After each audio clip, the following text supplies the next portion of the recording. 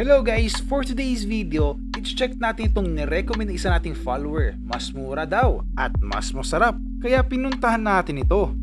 Ito nga pala yung Grayson's Dim Sum and Noodles. Dito yan sa may 132 R. Pascual Street, San Juan, Metro Manila. Saktong-sakto dahil medyo malapit lang kami dito at malapit lang ito sa last delivery namin ng salamin. Kumbaga ito na yung aming breakfast, lunch at merienda na rin namin. Dito sa San Juan, open sila Tuesday to Sunday. Every Monday, close sila. Operating hour naman nila is 8am hanggang 8.30pm. Para sa kanilang Mother Ignacia Quezon City branch, open naman ng everyday yun. Tapos 11am to 9pm naman ng gabi. For more questions and updates, pwede nyo po i-check yung Facebook page nila at mag-message doon and of course kung mag-order kayo, pwede rin naman doon. Ilalagay ko na lang din sa description below yung mga links and contact details nila. Dumating na yung order namin. Ito pala yung mga na-recommend ni ate na orderin daw namin dito dahil ito daw yung mga best seller nila. Beef wonton noodle, 140 pesos. Beef brisket with rice, 140 pesos din. Tapos nakita ko sa video nila, pinapalabas sa TV, si Naomi Peña nag-order ng fried chicken. Kaya nag-order na din ako ng fried chicken. 180 pesos naman yon. Tapos nakita ko sa menu nila na meron naman silang siomay. Kaya nag-order na din ako ng siomay nila. Gusto ko kasing malaman kung masarap yung siomay nila dito. Tapos 60 pesos lang. Tara, i-check na natin.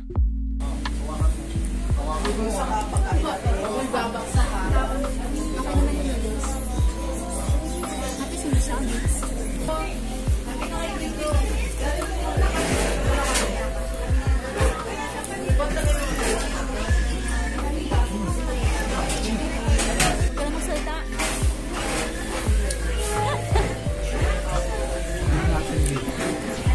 ano yan? Honey, ano yan? Honey mustard?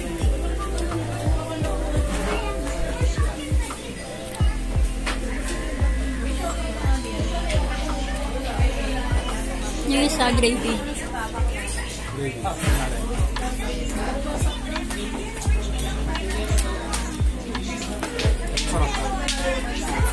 Ito.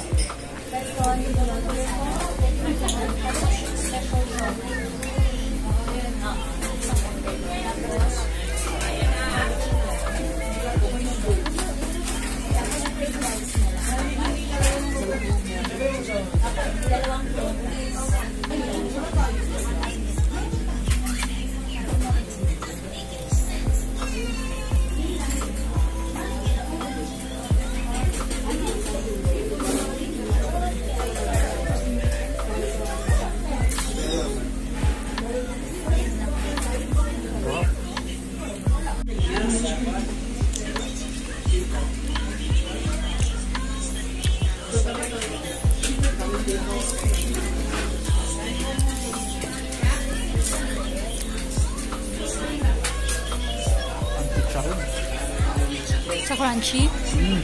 Ang